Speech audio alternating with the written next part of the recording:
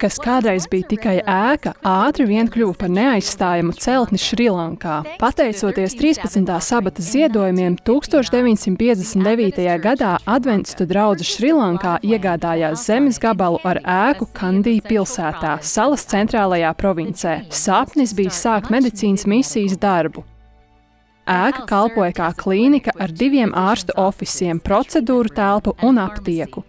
Klīnika izauga par ievērojamu slimnīcu, un 1967. gadā citi 13. sabata ziedojumi nodrošināja līdzekļus, lai iegādātos blakus zemes gabalu, kur paplašināt slimnīcu. Tajā laikā Lakeside Adventistu slimnīca bija viena no divām slimnīcām Šrilankas otrā lielākajā pilsētā. Citi 13. sabata ziedojumi 1972. un 76. gadā palīdzēja slimnīcai uzbūvēt jaunu ēku, paplašinot tās pakalpojumus. Līdz ar paplašināšanos bija nepieciešama arī papildus darbinieki, tāpēc tika uzsākts divu gadu apmācību kurs. 2019. gadā slimnīca atvēra pilsētas ietekmes centru, lai sekmētu slimnīcas misijas darbu, līdzīgi kā pārtrauc smēķēt programmas un sabiedrības veselības pārbaudas. Šī vieta pieņem ikvienu, neskatoties uz reliģisko piedarību vai sociālo statusu.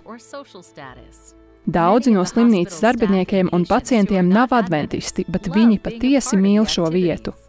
Pēdējo 30 gadu laikā 30 cilvēku grupa dodas uz dievkalpojumiem katru sabatu slimnīcas kapelā. Līdz šim desmit cilvēki ir pabeiguši Bībeles studijas un gaida, lai tiktu kristīti.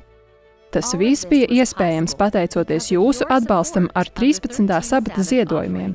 Sākot ar pirmo saņemto ziedojumu 1959. gadā, Dievs ir vadījis šo grupu, lai izplatītu cerības vēstu Šrilankā.